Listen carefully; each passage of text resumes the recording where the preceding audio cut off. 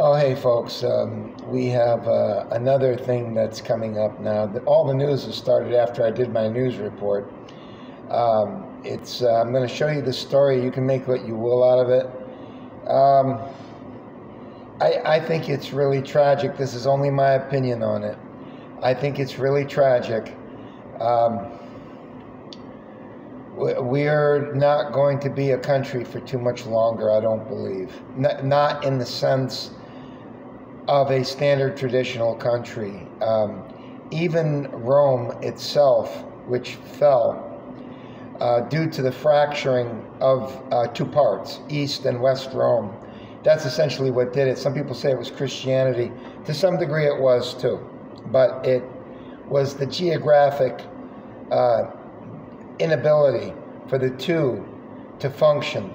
So um, one was closer to Egypt and the Nile, and um, you know Western uh, Western uh, Rome was had more interests in um, Europe.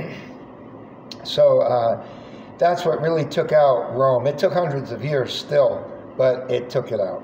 Uh, and uh, what we have here right now is we have another Olympic athlete that um, is with, um, and I'll let you make your own call on this. I'm just going to kind of tell you the way I feel about it because I, I kind of understand. I kind of understand. But I kind of some don't understand this. Um, it's a shock move, and uh, it's uh, showing the two athletes in the hammer throw. Uh, I guess the woman's hammer throw or whatever it is.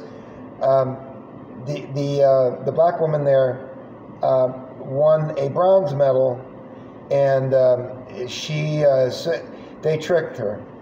It was very cruel what they did, and um, there's no excuse for it.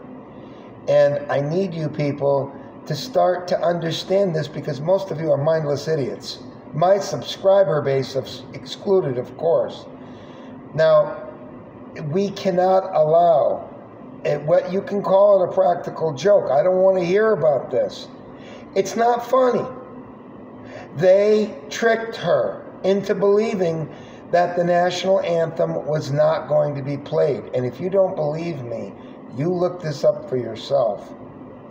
Now, if you're going to tell the athletes that they're going to go through the pain and the humiliation being with Black Lives Matter, that they're going to have to be present for something that has oppressed them for 200 years, you need to tell them so that maybe they won't compete or maybe they just won't go out to accept their award or whatever. You know, I'm not being completely facetious about this.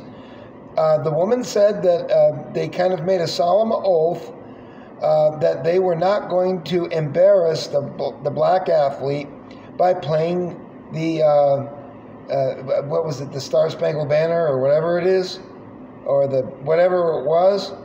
So these are things that we're going to have to start addressing our inadequacies of this country. Now, you heard what I said before, a couple of videos before this. I told you something has to be done because this is not going to fare well, folks. We either have to have Black Lives Matter come in and just rule everything and tell us all what to do and we'll get in line and obey, or the other side has to come in and they have to take over because this isn't going to work. I mean, that's kind of the way I feel about this without taking a side because I kind of understand the woman's feelings. If they're going to tell her that she has to go through the humiliation of being part of this country, uh, why should we torture her like that? Let her stay in the dressing room or whatever it is that would have made her feel more comfortable. Okay? So that's my nickel's worth on it, and you folks take it for what it is. I told you, you may not like this channel because I don't fall in lockstep with basic uh, norms. I try to think about this and understand all sides. I really do. So,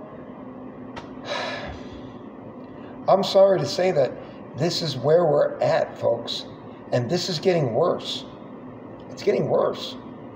On top of it, we've got uh, a scam going on right now, which is turning most people into jellyfish and uh, cowards. So they, they don't even know whether to shit or eat a banana anyway. They're just scared and petrified and ready to do as they're told to do, yao.